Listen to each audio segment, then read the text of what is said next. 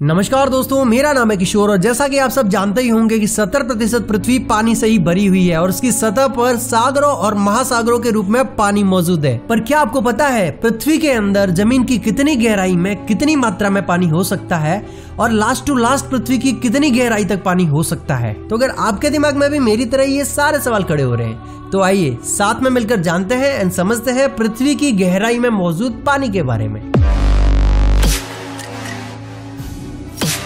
दोस्तों, पृथ्वी की सतह पर जो पानी अवेलेबल है सागरों और महासागरों के रूप में, इसके अलावा भी चट्टानी इलाकों की गहराइयों में भी भारी मात्रा में पानी है, जिसे हम सब ग्राउंड वाटर कहते हैं। और ग्राउंड वाटर पृथ्वी में हर जगह पर, कहीं पर ज़्यादा तो कहीं पर कम मात्रा में पाया जाता है। और आप किसी मैप को भी उठाकर देखोगे तो इसमें आपको देखने को मिल जाएगा। और फॉर एग्ज़ाम्पल आप इंडिया के मैप में भी देख सकते हो। पर इसके अलावा भी पृथ्वी की गहराई में बड़ी बड़ी नदियों के रूप में पानी है, जिसे हम एक्यूफस कहते हैं। लेकिन पहले वैज्ञानिकों का मानना था कि पृथ्वी की गहराई में लास्ट टू लास्ट चालीस मीटर तक ही पानी हो सकता है, इससे नीचे पानी हो ही नहीं सकता। लेकिन हम इसमें वैज्ञानिकों को भी दोष नहीं दे सकते थे, क्योंकि इससे पहले हमने कई बार छह किलोमीटर तक के गहरे गड्ढे खोद चुके थे न्यूक्लियर वेस्ट को ठिकाने लगाने के लिए। और खाली छह किलोमीटर ही नहीं इससे भी गहरा एक बोरहोल खोदा गया था, जिसकी गहराई 12 किलोमीटर के लगभग थी और उस बोरहोल का नाम रखा गया था कोला सुपर डीप बोरहोल। पर इतनी गहराई तक के खड्डे खोदने के बावजूद भी हमें कोई भी नदियाँ या फिर सागर नहीं दिखाई दिए।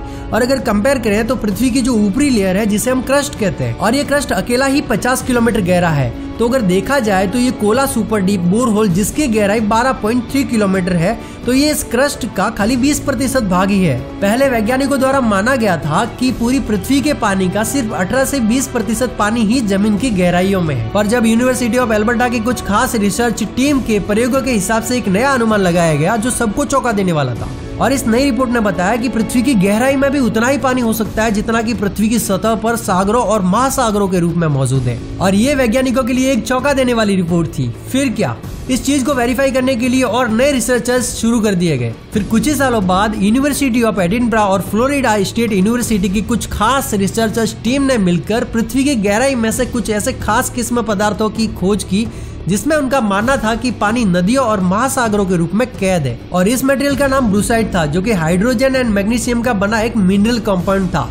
लेकिन इंटरेस्टिंग बात तो ये थी कि ये पृथ्वी के 400 से 600 किलोमीटर की गहराई में पाया गया था। जो कि कभी किसी ने सोचा भी नहीं था। वैसे पृथ्वी की इतनी गहराई में प्रेशर और तापमान की वजह से कोई भी ब्रूसाइड डिस्ट्रॉय हो जाता है और पानी के कंपाउंड को रिलीज़ कर देता है और बाद में वो भाप बनकर पृथ्वी की ऊपरी सतह पर आ जाते हैं। लेकिन ये वाले ब्रूसाइड थोड़े से स्पेशल थे और इतना तापमान और इतना प्रेशर होने के बावजूद भी स्टेबल रहे।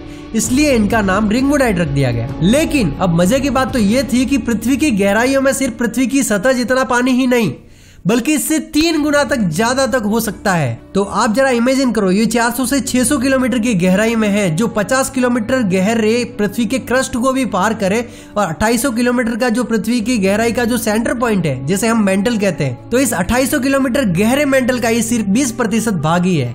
लेकिन ये भी पृथ्वी की गहराइयों में मौजूद पानी की परम सीमा नहीं है। एवरस्टोन, इलिनॉय की यूनिवर्सिटी के एक खास रिसर्चर ने अपनी टीम की मदद से कुछ ऐसा सबूत पाया जिसने हम सबको फिर से सोचने पर मजबूर कर दिया। ब्राज़ील की साउलेज नदी में उनके हाथ एक ऐसा डायमंड लगा जो माना जा रहा था कि वो डायमंड 9 करोड़ साल पुराना था और उस डायमंड में जमी हुई कुछ मिलावटें भी निकली। कुछ मिनरल्स जिनकी माइक्रोस्कोप द्वारा जाँच करने पर पता चला की उसमें भी हाइड्रोक्साइल ग्रुप के पदार्थ थे, जो नॉर्मली पानी से ही आते हैं। इस चीज़ पर और रिसर्च करने पर पता चला की ये पृथ्वी की एक हज़ार किलोमीटर की गहराई से ज्वाला ज्वालामुखी के मलबे के साथ पृथ्वी की ऊपरी सतह पर आया था। एक हज़ार किलोमीटर गहराई बोले तो यार। पृथ्वी के कोर की एक तिहाई गहराई। ओ एम जी और इसने तो वैज्ञानिकों की हालत खराब करके रख दी थी। क्योंकि अब उनके सामने दो थ्योरी निकल कर आ गई।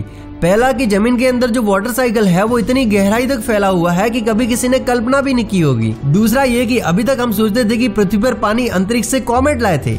लेकिन अब ये यकीन के साथ नहीं कहा जा सकता। और ऐसा भी माना जा रहा है कि पृथ्वी के सागरों और महासागरों का पानी पृथ्वी की गहराई के भागों से ही बाहर आया है। पर ऐसा भी हो सकता है कि अंतरिक्ष से लाया गया कॉमेट द्वारा पानी और पृथ्वी की गहराई का पानी इन दोनों के सहयोग द्वारा ये पॉसिबल हो पाया है, जो हमारे इस ग्रह और हम इंसानों को खुश नसीब बना देता है। लेकिन दोस्तों, हमें पानी की बचत भी करनी चाहिए हर तरीके से। अगर आप एक बाल्टी या फिर डेढ़ बाल्टी में नहा सकती हो तो आपको तीन से चार बाल्टी वेस्ट करने की कोई ज़रूरत नहीं है, ताकि हमें फ्यूचर में पानी की कमी ना हो। और इसी तरीके से आप हर चीज़ में पानी बचाने की ट्राई कर सकते हो।